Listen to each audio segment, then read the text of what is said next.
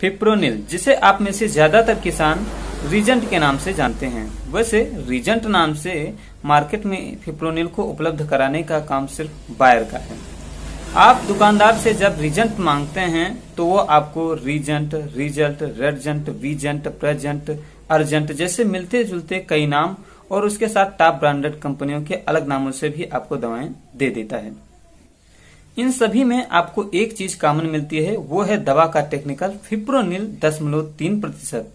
और वैसे तो देखा जाए तो मार्केट में फिप्रोनिल दशमलव तीन प्रतिशत के अलावा अन्य कई मात्राओं में उपलब्ध हैं। लेकिन आज की इस वीडियो में मैं आपको फिप्रोनिल दशमलव तीन प्रतिशत ग्रेनुलर के बारे में ही बताऊँगा। मैं हूँ आपके साथ संजीव शंकर तिवारी।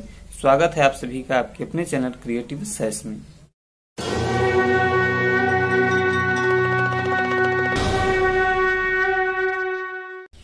फिप्रोनिल गहरे गुलाबी रंग में या फिर कह दीजिए कि चुकंदर के कलर में पाया जाने वाला दानेदार कीटनाशक है, जो अपनी कार्य क्षमता के अनुसार early shoot borer, root borer, stem borer, leaf folder, green leaf hopper, rice leaf hopper, brown plant hopper, white backed plant hopper, whorl maggot, rice gall midge के साथ साथ टर्माइट अर्थात दीमक से पौधों को बचाने का काम करता है।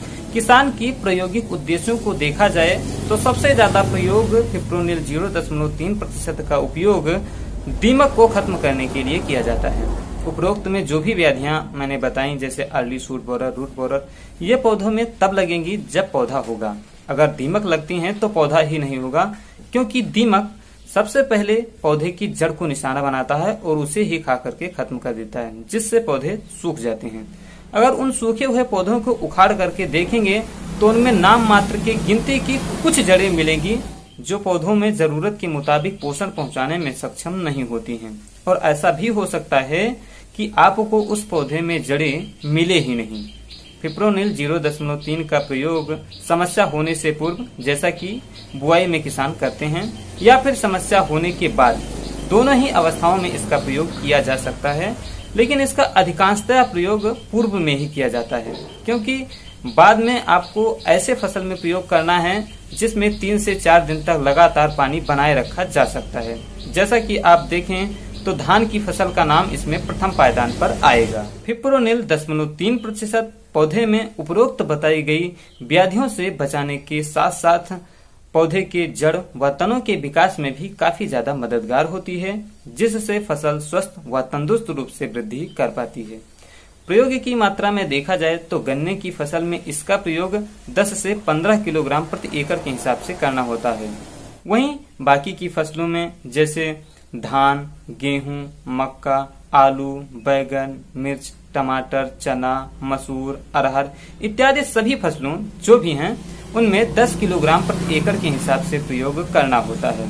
अगर इसके टॉक्सिसिटी लेवल को देखा जाए तो ये येलो लेवल की है, लेकिन कुछ प्रोडक्ट्स में आपको ग्रीन लेवल या फिर ब्लू लेवल की देखने के लिए मिल सकते हैं।